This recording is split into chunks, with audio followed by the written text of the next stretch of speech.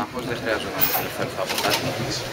Ε, για μένα αυτό που έχει σημασία στο ποδόσφαιρο είναι να κερδίζει η ομάδα μου και αν είναι δυνατόν να συνοδεύεται με καλή εμφάνιση. Όλα τα υπόλοιπα είναι για τους ίδιους, δεν με απασχολούν, δεν με αγγίζουν. Εξάλλου δεν είναι ούτε το πρώτο που πετυχαίνω, ούτε η πρώτη χρονιά που στο ελληνικό πρωτάθλημα, ξέρω τι γίνεται. Είναι φυσιολογικό, υπάρχουν απαιτήσεις. Όταν δεν πάει κάτι καλά, ε, θα ακούσει κάτι παραπάνω. Ο καθένας προσπαθεί να κάνει τη δουλειά του και εσείς και εμείς. Τα δέχομαι όλα, τα αποδέχομαι, τα σέβομαι και προσπαθούμε στο γήπεδο. Δεν, νίκη δεν αυτή- έχω κάποιο πάρο. Είναι αυτή η νίκη θα απελευθερώσει τον ΠΑΟ. Ε, είναι κομβική σημασία νίκη κατά τη γνώμη σου; Είναι πολύ σημαντική νίκη γιατί ε, αν σήμερα δεν κερδίζαμε, πιο κάτω δεν, δεν θα υπήρχε. Θα πιάναμε στην κυριολεξία πάτο.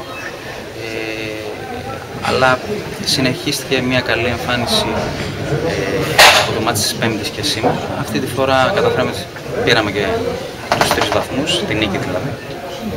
Και γι' αυτό είμαστε χαρούμενοι. Δεν ε, παίξαμε και στα 90 λεπτά καλό ποδόσφαιρο, περισσότερο στο πρώτο ημίχρονο, αλλά έτσι είναι το ποδόσφαιρο. Δεν μπορείς να πηγαίνεις στον ίδιο ρυθμό επί 90 λεπτά. Κάποια στιγμή και η αντίπαλη ομάδα θα πάρει λίγο τον έλεγχο του παιχνιδιού.